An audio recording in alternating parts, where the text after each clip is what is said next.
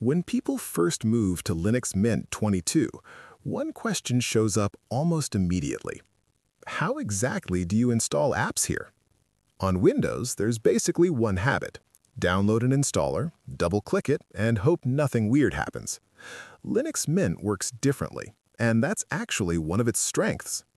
In this video, we're going to walk through all the real ways to install applications on Linux Mint 22, one by one, calmly and clearly. By the end, you'll understand not just how to install apps, but why Linux gives you multiple choices and when each one makes sense. Let's start with the most beginner-friendly option, because this is where most people should begin. When you open Linux Mint and click on the Software Manager, you're looking at Mint's curated App Store. This is the safest and easiest way to install applications. Everything you see here is tested, packaged correctly, and designed to work cleanly with your system. You search for an app, click Install, enter your password, and that's it. Updates arrive automatically with your system updates. No hunting for downloads, no broken installers, no surprises. Under the hood, this store is doing something important.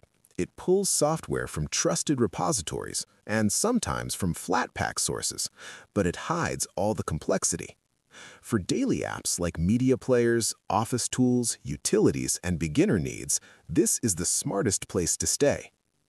Now let's step slightly deeper without getting scary. The terminal method using apt is the traditional Linux way. apt stands for Advanced Package Tool, and it's been around for a long time for one reason. It's reliable. When you install software with apt, you're talking directly to Mint's official software repositories. These packages are tested for your exact version of Linux Mint. They integrate perfectly with your system, respect system themes, and update along with everything else. This method is fast, precise, and incredibly stable. It's ideal for users who want control and clarity. Once you get comfortable typing simple commands, apt becomes one of the cleanest ways to manage software on Linux. Now let's talk about something that feels familiar to Windows users. AppImage. An app image is a single portable file. You download it, make it executable, and run it. No installation wizard, no system-wide changes. This is great for trying new software without committing to it. The app carries almost everything it needs inside that one file. If you delete it, the app is gone. The trade-off is updates app images don't update automatically unless the developer adds that feature.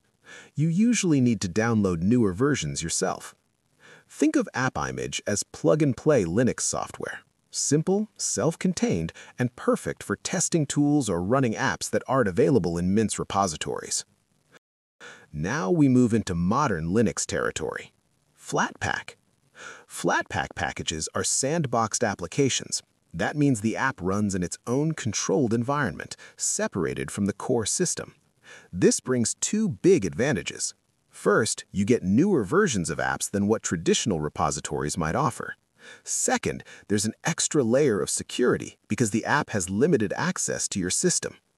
Linux Mint supports Flatpak out of the box, and the software manager already uses it quietly in the background for many apps.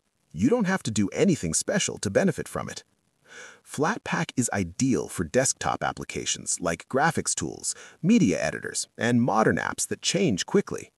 It trades a bit of disk space for consistency and safety, which for most users is a fair deal.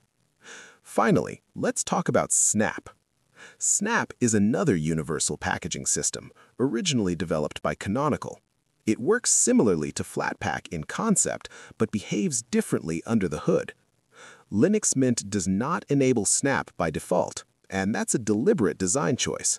Mint prioritizes system integration, performance, and transparency. Snap apps can feel slower to start and less integrated with the desktop. That said, Snap is still an option if you specifically need an application that only exists as a Snap package. It's not wrong, it's just not Mint's preferred path.